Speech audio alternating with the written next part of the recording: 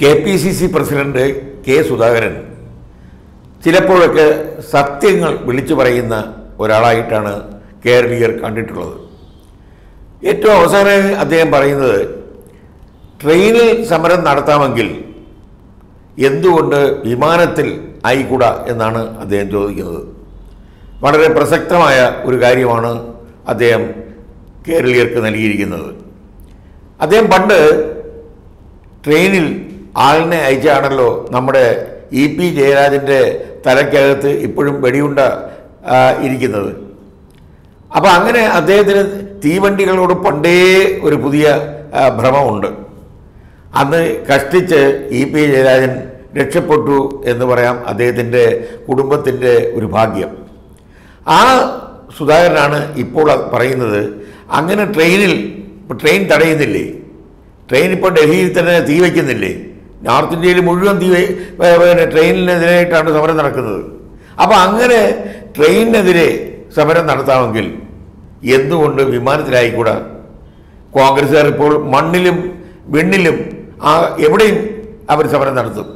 അപ്പോൾ ലേറ്റസ്റ്റ് ആയിട്ട് അവർ നടത്തിയ സമരമാണ് നമ്മുടെ പിണറായി വിജയനെ ആകാശത്ത് വെച്ച് തന്നെ റാഞ്ചാൻ തീരുമാനിച്ചത്. എന്തോ പിണറായി വിജയന് അദ്ദേഹത്തിന്റെയും കുടുംബത്തിന്റെ ഭാഗ്യം കൊണ്ട് ശരീരത്തിലൊരു പോറൽ പോലും ഏറ്റില്ല.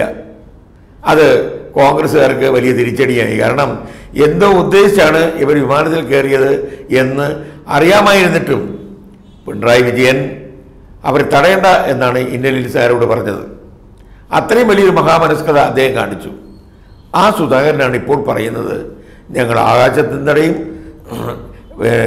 പിന്നെ തറയിൽ ഓടുന്ന പാളത്തിൽ കൂടെ ഓടുന്ന തീവണ്ടിയും തടയും. ഞങ്ങൾ എന്തും ചെയ്യുമെന്ന്. അപ്പോൾ തീർച്ചയായിട്ടും കോൺഗ്രസ്സുകാർ പറയുന്നതനുസരിച്ച് പ്രവർത്തിക്കുന്ന ആളുകളാണ്. ഇനി ആർക്കും വിമാനയാത്ര സുരക്ഷിതമല്ല എന്ന് കെ സുധാകരന്റെ വാക്കുകളിൽ നിന്ന് വളരെ ക്ലിയറാണ് കാരണം അവരത് അംഗീകരിച്ച ഒരു സമരമുറയായിട്ടാണ് അദ്ദേഹം പറയുന്നത്. എന്തുകൊണ്ടായിക്കൂടാന്ന് അദ്ദേഹം ചോദിക്കുന്നത്? എന്തുകൊണ്ടായിക്കൂടാ? ഇപ്പോൾ ബസ് തടയുന്നു ട്രെയിൻ തടയുന്നു വാഹന ഗതാഗതങ്ങളൊക്കെ തടയുന്നു. എങ്കിൽ എന്തുകൊണ്ട് ആകാശത്തും നമുക്കൊരു സമരം ആയിക്കൂടാ? ആ സമരത്തിന്റെ റിഹേഴ്സൽ അവർ ഭംഗിയായി നടത്തി കഴിഞ്ഞു. അത് ചില്ലറപ്പെട്ട ആളിനെയല്ല അവർ ഉന്നം വച്ചത്. സാക്ഷാൽ നമ്മുടെ മുഖ്യമന്ത്രി പിണറായി വിജയനെ തന്നെ അവർ ഉന്നമിട്ടു. അവർ വിചാരിച്ച രീതിയിൽ കാര്യങ്ങളെത്തി. പക്ഷേ മൂന്ന് പേരുണ്ടായിരുന്നല്ലോ ആ സംഘത്തിൽ. ഒരാൾ എവിടെ സുധാകരൻ? ഒരാളാണല്ലോ ഇതിന്റെ എല്ലാം വീഡിയോ എടുത്തുകൊണ്ടിരുന്നത് ആ ആളിനെ കാണുന്നില്ല. അയാൾ എവിടെയുണ്ട്? അയാളുടെ കയ്യിലുണ്ടല്ലോ ഈ വീഡിയോ മുഴുവൻ. മുഖ്യമന്ത്രിയുടെ സീറ്റ് നോക്കി ഈ മൂന്ന് പേരും അങ്ങോട്ടും ഇങ്ങോട്ടും വിമാനത്തിനകത്ത് നടക്കുന്നതും ഇടയ്ക്കിടയ്ക്ക് ഇങ്ങനെ പിന്നെ വാഷ്റൂമിൽ പോകുന്നതും ഒക്കെ ആ പിന്നെ ഈ വീഡിയോയിൽ ഉണ്ടല്ലോ.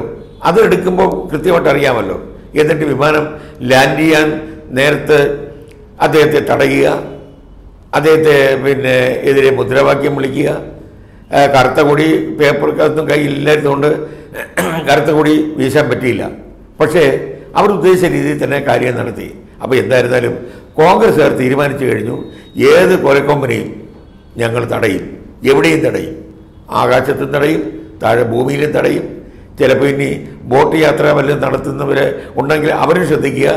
കായലിലൂടെയോ കടലിലൂടെയോ കപ്പൽ യാത്രയും ഈ ബോട്ട് യാത്രയും നടത്തിയാൽ അവരെയും അവർ ലക്ഷ്യമിടും. എന്തായിരുന്നാലും അവർ ഒരു പുതിയ സമരമുറ തന്നെ കേരളത്തിൽ നിന്ന് ലോകത്തിന് തന്നെ സംഭാവന ചെയ്തിരിക്കും കാരണം ഇതുപോലൊരു സമരം ആകാശ സമരം ഇന്ത്യയിൽ മറ്റൊരിടത്തും നടന്നിട്ടില്ല. ലോകത്ത് വേറെ ഏതെങ്കിലും കോണിൽ നടന്നിട്ടുണ്ടോ എന്ന് നമുക്ക് അറിയില്ല. പക്ഷേ കേരളം കാണിച്ചൊരു മാതൃക ഇന്ത്യയ്ക്ക് തന്നെ ഒരു മുതൽകൂട്ടാണ് എന്ന് സുധാകരൻ തെളിയിച്ചിരിക്കുന്നു.